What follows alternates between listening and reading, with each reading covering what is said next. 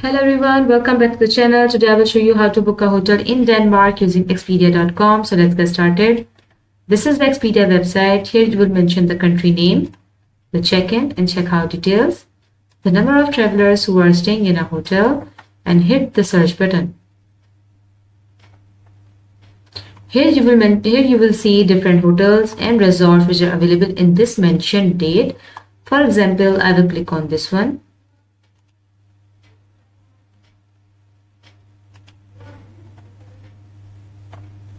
All the details regarding this hotel will be available here. For example, popular amenities,